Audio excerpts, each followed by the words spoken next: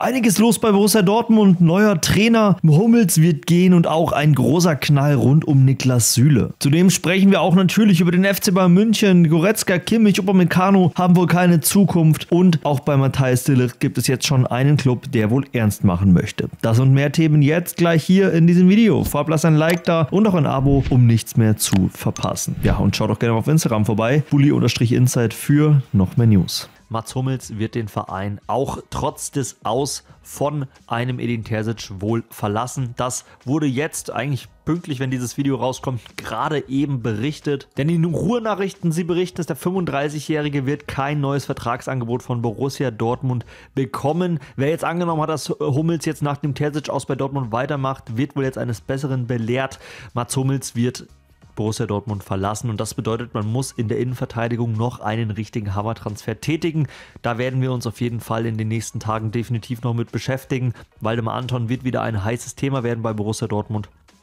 Aber alles mit seiner Zeit. Wie gesagt, die Rohnachrichten haben das jetzt berichtet. Eine Bestätigung anderer Medien, die hat es bislang noch nicht gegeben. Und jetzt haben wir schon über den ein oder anderen Verteidiger gesprochen. Sprechen wir doch auch über Matthias de Licht. Denn der steht jetzt wohl ganz oben auf der Liste von Trainer Erik Den Haag. Denn der wird bei Manchester United weitermachen. Das wurde jetzt auch in England berichtet. Erik Den Haag wird weitermachen und sein erstes Transferziel, das soll wohl tatsächlich Matthias de Ligt sein. Die beiden kennen sich, die beiden haben zusammen mit Ajax Amsterdam große Erfolge erzielt. Da war de Ligt der Kapitän unter eben Erik Den Haag und die beiden sind Niederländer, die beiden kennen sich, die beiden schätzen sich. Von daher passt das schon ziemlich gut. Und jetzt wurde ja quasi eben auch vor wenigen Minuten Hiroki Ito vorgestellt. Jonathan Tah soll auch noch kommen und dann sollen auch zwei Spieler die Verteidigung verlassen. Die Bayern-Fans, sie sagen immer wieder, ich habe mir nämlich die Kommentare mal durchgelesen auf Twitter, auf Instagram bei diesem Ito-Post, sie wollen unbedingt, dass Matthias Delicht bleibt. Das Problem ist halt eben 65 Millionen Euro Marktwert. Die Bayern könnten hier 70, 75 Millionen Euro von Manchester United verlangen, weil er noch langfristig vertragt hat. Also das wäre auch eine Summe, die wohl United bereit wäre zu zahlen. Erik Den Haag ist großer Fan von De Ligt. Sie suchen einen neuen Innenverteidiger, weil es ja zum Beispiel Raphael Varane den Verein definitiv im Sommer verlassen wird. Und jetzt gehen eben die Blicke auf Matthias De Ligt. Über ihn müssen wir auf jeden Fall in den nächsten Wochen wohl noch öfter sprechen. Er ist Abschiedskandidat Nummer 1. Hoher Marktwert, hohes Gehalt, viele Verletzungen. Das passt eben aktuell nicht so richtig rein. Also wird es sehr, sehr spannend, wie es da beim FC Bayern München weitergeht. Was ist denn eure Meinung? Matthias de Licht verkaufen oder nicht verkaufen? Schreibt es mir gerne in die Kommentare. Und ja, wir bleiben in der Abwehr. Tapsoba hat sich jetzt wohl tatsächlich mit Paris Saint-Germain getroffen. So die große Abwehrfolge, wenn man das irgendwie so sehen mag, Hummels, Delicht, Tapsoba. Aber ja, es hat jetzt ein Treffen gegeben. Tapsoba soll wohl tatsächlich ein Gespräch mit Paris Saint-Germain gehabt haben. Das hat jetzt Fußballtransfers berichtet. Der 25-Jährige war in der französischen Hauptstadt. Er ist wohl tatsächlich auf der Liste der Pariser bei einer Verstärkung in der Defensive. Erwägt man wohl tatsächlich einen Vorstoß beim Verteidiger von Bayer Leverkusen. Ihr merkt, dann wird es schon richtig eng. Tar könnte gehen, Tapsoba. Ja, da muss man auf jeden Fall aus Sicht von Bayer Leverkusen noch jemanden holen, weil der Anton ist ja auch da zum Beispiel ein Kandidat, aber Tapsoba hat auch eine ziemlich hohe Klausel in seinem Vertrag verankert, 80 bis 100 Millionen Euro. Das wäre natürlich extrem, extrem viel für einen Transfer muss man sagen, wird vermutlich nicht so viel, äh, ja, so viel Summe fließen. Da muss man so realistisch sein, aber aufgrund dieser hohen Klausel hat natürlich hier Bayer Leverkusen, ja, ich sage mal, die Zügel in der Hand. Er hat einen Marktwert von 45 Millionen Euro. Also ich sag mal, unter 50 geht da eigentlich nichts. Joshua Kimmich hat eben nur noch Vertrag bis zum nächsten Jahr. Und jetzt gibt es Bayern intern wohl die Vermutungen, dass Joshua Kimmich tatsächlich den Verein nicht verlassen möchte, aber auch nicht seinen Vertrag verlängern möchte. Denn es herrscht so ein bisschen Unmut bei den Bayern. Es scheint so, dass Joshua Kimmich möglicherweise versucht, nächstes Jahr ablösefrei zum FC Barcelona zu wechseln. Und das ist natürlich ein Szenario, das können sie definitiv nicht zulassen. Der Stand ist eben so: Joshua Kimmich verdient sehr, sehr viel beim FC Bayern München. Sollte er seinen Vertrag verlängern wollen, dann müsste er definitiv Abstriche beim Gehalt machen. Zudem plant Neutrainer Vincent Company wohl nicht im zentralen Mittelfeld mit ihm. Das sind die Meldungen, die jetzt von Sky bis dato hervorgegangen sind. Und intern soll es wohl so sein, dass man eben fürchtet, dass er seinen Vertrag im Endeffekt einfach erfüllen möchte bis zum nächsten Sommer und dann zu den angeschlagenen oder finanziell angeschlagenen Katalanen wechseln möchte. Die haben ja Josua Kimmich schon länger im Visier. Spätestens jetzt, wo Hansi Flick dort Trainer wurde, war klar, das Thema Kimmich könnte dort nochmal heiß werden. Und ein ablösefreier Wechsel, der würde ja natürlich nicht nur dem FC Barcelona zugutekommen, nein, natürlich auch dem Spieler selbst, der würde ja dementsprechend ein Handgeld kassieren und das wäre schon enorm bei einem Marktwert von circa 50 Millionen Euro. Max Eberl und Co., die müssen auf jeden Fall jetzt sich mit dem einen oder anderen Spieler zusammensetzen, ihm ganz klar machen, dass die Zeit nicht schön wird, wenn sie irgendwie sowas in die Richtung versuchen sollten. Ich bin mal gespannt, ob das gelingen wird. Das werden wir uns definitiv in den nächsten Tagen angucken. Jetzt sprechen wir über einen Spieler, der für sich selber wohl festgelegt hat, er wird den Verein verlassen. Das ist Diod Upamecano. Diese Meldung, die hat uns heute Morgen erreicht. Es ist ja so, dass eigentlich äh, grundsätzlich die Meldung jetzt kam, ja, es soll Matthias de Licht gehen. Upamecano passt eigentlich ziemlich gut zu Vincent Company. Jetzt wurde der Transfer von Hiroki Ito ja auch schon offiziell gemacht und Diod Upamecano, der soll wohl intern für sich jetzt entschieden haben, ja, er möchte den FC Bayern München definitiv verlassen. Sky hat es berichtet, er ist offen für eine neue Herausforderung. Sein Berater, der sondiert auch schon so ein bisschen den Markt, obwohl natürlich der eigentliche Bayern-Trainer Vincent Company relativ überzeugt vom französischen Nationalspieler sein soll und sich intern auch schon für einen Verbleib von Dayot Upamecano ausgesprochen hat. Scheint es aber so, dass gerade auch das ja, komplizierte Saisonende, wo Dayot Upamecano in der letzten Saison wirklich nicht viel gespielt hat, äußerst, äußerst bedenklich ist, was seine Zukunft beim FC Bayern München angeht. Sein Marktwert 45 Millionen Euro, Vertrag noch bis 2026. Es gab in den letzten Jahren, Monaten immer wieder Gerüchte rund um Paris Saint-Germain, dass die ein Interesse an Upamecano haben. Die bauen sich ja so eine kleine französische Nationalmannschaft da aktuell auf. Also da würde er auch vom, vom Sinn her gut reinpassen. Aber jetzt gab es tatsächlich laut Sky Infos auch grundsätzliches Interesse beim FC Chelsea aus der Premier League. Alles vermutlich Vereine, die für ihn grundsätzlich interessant wären. Jetzt ist es so, er wird bei Frankreich tatsächlich in der Startelf auflaufen, aller Voraussicht nach, bei dieser Heim-EM. Kann sich dementsprechend nochmal zeigen, kann gute Leistungen zeigen. Und dann könnte es natürlich auch hier für einen Wechsel zu einem absoluten Top-Club reichen. Wie gesagt, für die Bayern ein herber Verlust, aber würde natürlich auch Gelder in die Kasse reinspielen und wenn ein Jonathan Tah noch kommt, dann wäre das wohl grundsätzlich kein Problem, Dario Upamecano zu ersetzen. Anders könnte es da bei Leon Goretzka aussehen. Der könnte vielleicht gar nicht ersetzt werden oder durch Jao Palin ersetzt werden. Wie man das eben sehen mag.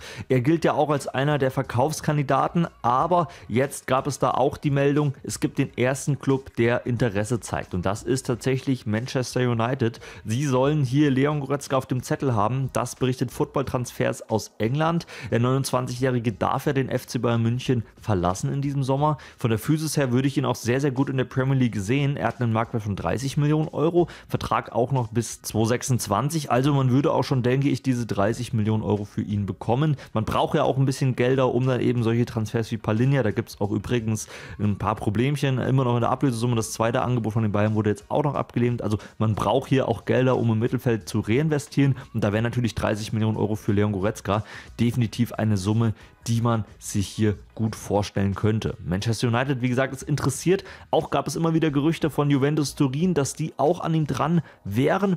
Ich bin gespannt, wo es für ihn hingehen könnte. Leon Goretzka hat jetzt ja sehr, sehr viel Zeit, um über seine Zukunft nachzudenken. Denn er ist ja nicht bei der Heim-EM dabei und das ist ein Umstand, der soll ihm gar nicht gefallen. Er muss jetzt einen Club suchen, wo er gesetzt ist, wo er Stammspieler ist, um dann auch wieder in die Nationalmannschaft zurückzukehren.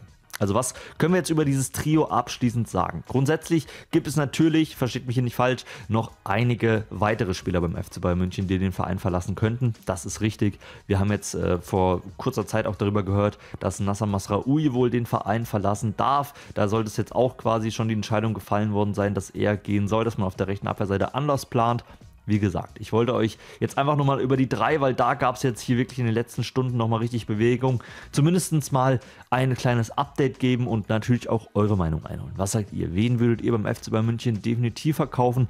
Kimmich und Goretzka, das eigentliche, ja, ich sage mal, die eigentliche Achse im Mittelfeld, die könnte jetzt tatsächlich geschlossen den FC Bayern München im Sommer verlassen. Ich bin sehr auf eure Meinung gespannt. Was sagt ihr dazu? Gerne eure Meinung in die Kommentare. Florian Wirz. Florian Wirz, der hat sich jetzt auf der Pressekonferenz gemeinsam mit Jamal Musiala, haben wahrscheinlich viele von euch gesehen, so ein bisschen über auch den FC Bayern München geäußert. Beide haben gesagt, Grundsätzlich würden sie sehr, sehr gerne mal zusammenspielen. Sie würden gerne in einem Verein spielen, sie harmonieren zusammen. Ob das jetzt Real Madrid oder der FC Bayern München ist, das ist natürlich noch nicht so ganz klar. Und auf die Frage, ob er denn zum FC Bayern München zusammen, also ob er dann zum FC Bayern wechseln würde, da sagte er, das ist jetzt eine gemeine Frage. Da müsste ich mich jetzt ja festlegen. Jamal spielt ja bei den Bayern, ich fühle mich sehr wohl in Leverkusen. Ich bin gespannt, was mir in der Zukunft passiert. Grundsätzlich ist mir auch in der letzten Zeit aufgefallen, Florian Wirz, der lässt seine Zukunft in Interviews sehr, sehr offen. Ja, es ist wohl so, in diesem Sommer wird er aller Voraussicht nach zumindest, sollte da nicht ein absolutes Hammerangebot der Bayern oder von Real Madrid kommen, bei Bayer Leverkusen bleiben. Dann ist aber im nächsten Jahr seine Zukunft extrem ungewiss. Es könnten die Bayern werden, gemeinsam mit Jamal Musiala zaubern. Es könnten natürlich aber auch andere Clubs werden, zum Beispiel Real Madrid. Die sind sehr interessiert an ihm, sehen in ihm natürlich auch die Zukunft. Bei Real Madrid ist ja ein Spieler aus unter 23 und Weltklasse, dann müssen wir den eigentlich haben. So ein bisschen ist das das Motto dort. Und Weltklasse und unter 23, das ist Florian Wirz definitiv. Aber auch ein Transfer zum FC Bayern München, der scheint ihn anscheinend nicht kalt zu lassen.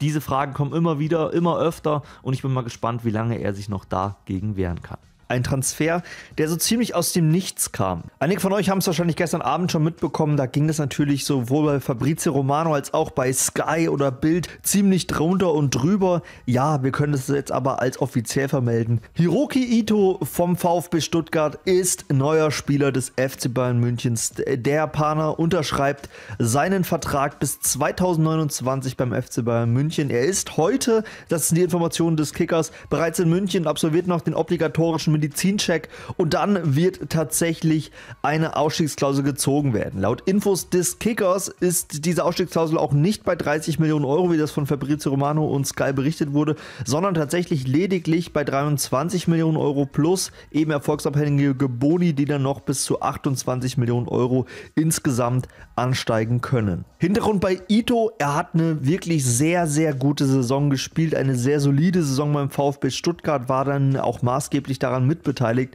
dass sie es eben in die Champions League geschafft haben. Man konnte ihn für wenig Geld holen, er ist nur 25 Jahre alt. Und bei ihm das Besondere ist eben, dass er ein Linksfuß ist. Ein Linksfuß in der Innenverteidigung, das hat den Bayern die ganze Zeit gefehlt, das wollten sie unbedingt haben. Und auch Vincent Company war bei diesem Deal wohl komplett mit involviert. Und auch er hat sein grünes Licht für Hiroki Ito gegeben. Ito ist der neue Spieler des FC Bayern Münchens. Da gibt es natürlich jetzt sehr, sehr gespaltene Meinungen, wenn man sich das Ganze auf Social Media anguckt. Ja, er ist bei Stuttgart einer der besten Verteidiger gewesen. Ja, er kann in der linken Abwehrseite, also linke Innenverteidiger spielen, kann aber auch als Linksverteidiger spielen. Man hat sich damit einen variablen Spieler geholt. Und auch in einer potenziellen Dreierkette sollte Vincent Company diese installieren wollen bei den München, hat man hier den perfekten Spieler dafür. Andersrum sage ich euch, es ist natürlich kein absoluter Unterschiedsspieler. Er könnte jetzt tatsächlich den VfB Stuttgart verlassen und er ist sich quasi schon einig mit Borussia Dortmund. Das kann man jetzt so und so sehen. Wir können es einfach mal so sagen, er hat jetzt in einem Interview ganz klar die Zusage gegeben, Borussia Dortmund ist ein Verein, den er sich sehr, sehr gut als nächste Station vorstellen kann. Er hat seine Zusage gegeben, hat die Tür geöffnet auf die Frage bei Sky, ob er sich einen Transfer zu Borussia Dortmund vorstellen kann. Da sagte er, auf jeden Fall. Es ist ein sehr großer Club, aber es ist nichts fortgeschritten. Ich bin immer noch unter Vertrag beim VfB. Wir wissen den Umstand, 18 Millionen Euro ist die festgeschriebene Ausstiegsklausel des 28-jährigen Guineas. Und das ist so günstig für einen Spieler, der letzte Saison über 25 Tore in der Bundesliga geschossen hat. Der BVB soll ihm tatsächlich auch schon ein Angebot übersandt haben, 8 Millionen Euro Jahresgehalt. Das wäre das Doppelte von dem, was er aktuell verdient. Und wie es weitergeht, da sagt die Girassi ganz klar, er ist jetzt erstmal im Urlaub, aber in den nächsten Wochen, da wird man sehen, wie es weitergeht. Da sieht man sehen, was passieren wird. Und es ist ganz klar, es wird ein Wechsel passieren. Das ist eigentlich schon fast fix. Der VfB Stuttgart wird wohl keine Chance haben, den Spieler zu halten. Girassi wird wohl 8 Millionen Euro ungefähr an Gehalt bekommen, egal ob es jetzt bei Borussia Dortmund oder auch bei Atletico Madrid oder AC Mailand ist. Alle bieten ungefähr das gleiche, plus nochmal ungefähr dasselbe, bis zu 10 Millionen Euro auf die Hand. Als Unterschriftsprämie, weil er eben so günstig ist. Und das sind eben Konditionen, so günstig kriegst du keinen Spieler. Und das macht meiner Meinung nach aus Sicht von Borussia Dortmund nur Sinn, diesen Spieler zu holen. Kann natürlich auch wieder sein, dass es ein klassischer Dortmund-Transfer ist und dass er am Ende des Jahres äh, zwei Tore vorweisen kann und eben halt nur in so einem System wie Stuttgart funktioniert hat unter so einem guten Trainer, weil Edin Terzic vielleicht jetzt auch nicht der Trainer ist, da kennt ihr alle meine Meinung, will ich mich gar nicht wieder weiter reinsteigern. Aber trotzdem für mich ein absolut sinniger Transfer.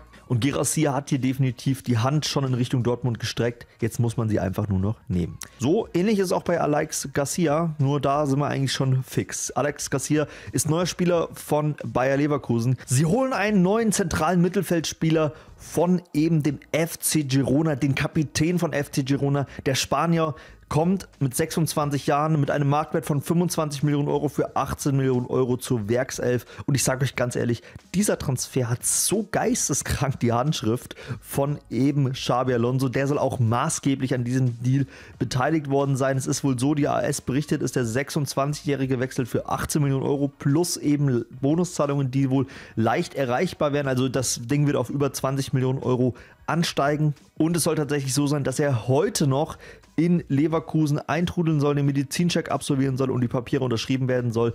Es ist wohl tatsächlich ein fixer Transfer. Leverkusen ist sich auch schon seit längerer Zeit mit dem Mittelfeldspieler einig. Der Deal war mehr oder weniger nur so ein bisschen am Scheitern, weil man sich erst nicht mit Girona einigen konnte, aber damit holt man wirklich einen sehr, sehr guten Spieler. Ich bin mal gespannt, wie er ihn einsetzt. Ein neuer Mittelfeldspieler, das bedeutet nicht, dass Scharker hier nicht mehr spielt. Der ist 26 Jahre alt, Alex Garcia. Also ich denke mal, man könnte sich jetzt schon so potenziell auf einen kleinen Abgang vielleicht von einem Palacios vorbereiten, wenn es da was im Hintergrund vielleicht zu berichten gibt. Auf jeden Fall ist dieser Transfer durch und es ist schon ein ziemlich teurer Transfer, also guter Transfer. Auch Alex Garcia war maßgeblich daran beteiligt, dass Girona jetzt aktuell wirklich richtig gut performt hat, ist immer noch der Kapitän gewesen und jetzt spielt der Champions League Fußball bei Bayer Leverkusen. Bayern sind an einem Außenstürmer von Crystal Palace dran. Sie wollen einen Flügelspieler für bis zu 70 Millionen Euro holen. Die Rede hierbei ist von Michael Olais. Er ist ein 22-jähriger Außenstürmer, der auf dem rechten Flügel zu Hause ist. Könnte dementsprechend ein potenzieller Nachfolgekandidat von einem Serge Gnabry sein, der 1,84 große Franzose. Spielt wie eben schon erwähnt bei Crystal Palace. In dieser Saison hat er 19 Spiele in der Premier League gemacht, öfters am Oberschenkel verletzt, das muss man gleich mit dazu sagen, hat aber 19 Spiele gemacht, auch nicht alle von Anfang an, aber trotzdem 10 Tore, 6 Vorlagen, also 16 Scorerpunkte gesammelt. Das sind sehr, sehr gute Werte für 19 Spiele, das muss man ganz klar sagen. Der Athletic berichtet es, Max Eber und Co. haben Kontakt zu Crystal Palace bereits aufgenommen. Sie haben sich über einen möglichen Transfer erkundigt. Die Bayern sind nicht als einzige vorstellig geworden. Newcastle United, FC Chelsea sind wohl auch interessiert und haben ihr Interesse hinterlegt. Und das würde ein sehr, sehr teurer Transfer werden, denn Michael Olias, der hat seinen Vertrag erst vor kurzem bis 2027 bei Palace verlängert, aber hat eine Ausstiegsklausel unser Vertrag drin stehen. Athletic berichtet, knapp 70 Millionen Euro ist diese schwer, so viel müsste man zahlen. Für die Bayern ist aktuell natürlich unklar, ob sie diese Summe zahlen würden. Auch Fabrizio Romano hat sich zum ganzen Thema geäußert, hat das Ganze bestätigt. Ja, die Bayern sind interessiert. Das Rennen um Olais ist aber noch komplett offen. Also da kann theoretisch noch auch was ganz Verrücktes passieren. Also da ist das letzte Wort definitiv noch nicht gesprochen. Da gibt es natürlich auch gleich mehrere Clubs, die hier an ihm dran sind, wie eben schon benannt. Das ist ein Rennen um den Spieler und es heißt, dass der Spieler grundsätzlich auch bereit ist für den nächsten Schritt. Wie gesagt, 22 Jahre alt. Bei Crystal Palace eigentlich gut reingestartet. Zehnter Tabellenplatz wurde Crystal Palace. Das bedeutet, sie spielen eben auch nicht international. Vielleicht ist das halt eben eine Option, die Olais jetzt gerne haben möchte. Bei den Bayern wäre Platz auf den Vögeln, wenn man Coman oder Gnabry oder vielleicht sogar beide verkauft. Thema loswerden. Dann müssen wir auch über Niklas Süle sprechen, denn da gab es ja auch wieder Gerüchte, er ist ein potenzieller Verkaufskandidat. Und das kann ich jetzt hier so in dem Zuge immer noch bestätigen. Ja, die Gedanken, Niklas Süle zu verkaufen, die gibt es bei Borussia Dortmund definitiv. Jetzt gab es aber erstmal ein klärendes Gespräch, wenn man das so nennen mag. Es war eine Krisensitzung, es war eine absolute Deadline für Niklas Süle. Denn auch hier hat die Sportbild erfahren, noch vor dem Urlaub, vor seinen freien Tagen, musste der Spieler zu den Bossen, zu Geschäftsführer Sport Lars Ricken und Sebastian Kehl. Und dort wurde dem 28-Jährigen wohl ganz, ganz klar gemacht, dass man ihn topfit zur Leistungsdiagnostik am 10. Juli zurückerwartet. Es wurde ihm gesagt, er hat tatsächlich mit 110 Kilo. 10 Kilo definitiv zu viel, mehr als 10 Kilo zu viel. Und man erwartet, dass er zur Vorbereitung mit 10 Kilo weniger wiederkommt und deutlich fitter, als er das aktuell ist. Das bedeutet, Süle muss sich jetzt wohl oder übel an einen strengen Ernährungsplan halten, in seinen Urlaub mehr oder weniger auf vieles verzichten und trotzdem, obwohl er Urlaub hat, Sport machen. Der körperliche Zustand des Profisportlers ist wohl ein ganz großes Problem bei Borussia Dortmund und das soll ihm jetzt unmissverständlich gesagt worden sein. Denn sollte er sich, sage ich mal, nicht bessern von seiner körperlichen Kondition her, dann ist wohl ein Verkauf in diesem Sommer die wahrscheinlichste Option bei Borussia Dortmund. Auch wenn man ja aktuell dann nur noch einen etatmäßigen Innenverteidiger mit Nico Schlotterbeck in den eigenen Reihen hätte. Was sagt ihr dazu? Eure Meinung gerne in die Kommentare. Dann sprechen wir doch kurz noch über einen fixen Transfer. Wir gehen zum Dauerrivalen oder ja, ich sage mal, Rivalen kann man gar nicht richtig sagen. Wir gehen zu Schalke. Asan Wedraogo, der wird jetzt in Richtung Leipzig wechseln. Die Entscheidung soll gefallen sein. Das wurde jetzt heute Morgen exklusiv von Sky berichtet. Es ist wohl so, dass er jetzt zu Leipzig wechselt. Der 18-Jährige hat sich für die Sachsen entschieden. Letzte Details sind noch zu klären. Der Leipzig wird die Ausstiegsklausel in Höhe von 10 Millionen Euro ziehen. Und es ist wohl so, dass tatsächlich die Leipziger dafür entschieden haben, den Spieler möglicherweise wohl erstmal auch zum Partnerclub RB Salzburg zu verleihen. Die Bild hat berichtet, es wird sich jetzt wohl tatsächlich ähm, ja in der Vorbereitung so ein bisschen zeigen, wie man mit Asan Ogo plant. Entweder ist Plan A, dass er bei den Sachsen bleibt und dann tatsächlich auch schon Spielminuten in der Bundesliga sammelt, oder er eben für eine Übergangssaison nach RB Salzburg verliehen wird und dort in der österreichischen Liga dann natürlich eine gesetzte Größe sein könnte. Also ja, das sind wohl die ersten Ideen, die man jetzt bei Leipzig hat. Was sagt ihr dazu? Von Schalke zu Leipzig, von Tradition zu ja, Dose. Das ist das eine, aber ich glaube, für seine Entwicklung ist das natürlich der absolut richtige Schritt. So würde ich das Ganze zumindest mal einordnen. Und da werden jetzt wieder viele von euch sauer sein, die werden sagen, äh, warum wurde das dann gestern berichtet, dass das alles einig ist. Ja, es gibt eine mündliche Einigung mit dem Spieler, aber die Bayern haben sich jetzt einfach, ganz, um es ganz plakativ zu sagen, gegen Hernandez entschieden. Das hat jetzt die Sportbild erfahren. Demnach ist es wohl so, dass ja vieles auf Theo Hernandez hingedeutet hat. Es gab Berichte über diese mündliche Einigung, aber nach den ersten Gesprächen soll das Ganze jetzt wohl doch kein Thema mehr sein. Die Bayern sollen sich jetzt mit anderen anderen Linksverteidigern beschäftigen. Das hat auch die L'Equipe bestätigt. Es ist vermutlich, also das ist so meine Interpretation des Ganzen, der Preis, der natürlich auch abschreckt. Und zum anderen sieht es aktuell wieder, ich sage mal, etwas besser aus zwischen Alfonso Davis und eben den Bayern. Es sieht aktuell danach aus, dass die Bayern hier, ich sage mal, gute Gespräche geführt haben. Zwar wurden die Gespräche jetzt abrupt abgebrochen durch dessen Berater, aber Davis Berater ist eh ein ganz komischer Vogel, dieser Nick Hursey oder wie der heißt. Ganz, ganz komische Verhandlungen. Also der ist, die haben verhandelt und dann ist er einfach am Donnerstag wieder abgereist. Also es war ganz, ganz komisch. Die Bayern hatten ja 13 Millionen Euro plus 5 Millionen Euro Boni-Zahlungen äh, angeboten und die Spielerseite fordert jetzt wohl 16 Millionen Euro plus Boni ja, vielleicht kann man sich hier einfach noch treffen und dann sind es jetzt vielleicht ein, zwei Millionen Euro, die die Bayern noch oben drauf zahlen müssen. Aber ich bin mir ziemlich sicher, dass du keinen Verteidiger in dem Alter findest, der so viel Potenzial mit sich bringt und den der Trainer auch unbedingt haben will, wie das eben bei Alfonso Davis der Fall ist. Und das wird, denke ich, meiner Meinung nach auch maßgeblich damit zu tun haben, dass eben jetzt der Transfer von Theo Hernandez bei den Münchnern kein Thema mehr ist. Und auch der Transfer von Davis zu Real Madrid. Da gab es jetzt verschiedenste Meldungen. Da gab es von einzelnen Reportern aus Spanien auf Twitter die Meldung, dass das ganze Ding eigentlich schon durch wäre, also dass Davis fix zu Real wechselt. Aber von ganz vielen gab es auch die Meldung und das glaube ich tatsächlich eher, denn da haben sich jetzt äh, die meisten äh, anderen Reporter jetzt halt nicht mit draufgestützt auf das erste Thema. Die meisten haben gesagt, nein, es ist so, dass man eigentlich mit Fernand Mondi ziemlich zufrieden sein soll und gerade auch jetzt die Nachfolge von Toni Groß als deutlich wichtigeres Thema bei Real Madrid sieht und erst vielleicht im nächsten Jahr sich mit der Linksverteidigerposition beschäftigen möchte und nicht eben in diesem Sommer. Dementsprechend sieht aktuell alles danach aus, dass die Bayern eben weiterhin mit Alfonso Davis zusammenarbeiten. Ihr seht hier im Hintergrund Robin Gosens, es gibt ein Angebot an Union Berlin. Ja, Robin Gosens wird ja mit einem Wechsel in Verbindung gebracht. Und zwar berichtet Fabrizio Romano, hat jetzt FC Bologna aus der Serie A, das ist ja das Traumziel, wieder zurück von Robin Gosens. Der soll tatsächlich eine Leihe samt Kaufoption in Höhe von 7 Millionen Euro an Union Berlin übersandt haben. Das soll für die Köpenicker nicht genug sein. Der Poker wird jetzt aber so ein bisschen gewinnen. Sie wollen rund 10 bis 12 Millionen Euro für Robin Gosens haben. Sie hatten ja auch vor einem Jahr noch 12 Millionen Euro selber für Gosens gezahlt. Dementsprechend wollen sie hier keinen Verlust machen. Bei Bologna wäre natürlich sehr attraktiv für Robin Gosens. Er würde dann wieder in der Champions League spielen. Die sind ja in der Serie A sehr, sehr weit nach oben geklettert. Also wäre ein deutlicher Schritt für ihn nach vorne. Und ich würde auch sagen, ein Spieler, der unbedingt wieder in die Nationalmannschaft möchte, der muss definitiv bei einem Club spielen, der auch in der Champions League zu Hause ist. Das also das Thema dazu. Was sagt ihr dazu? Eure Meinung in die Kommentare. Bis dahin, Leute. Ciao.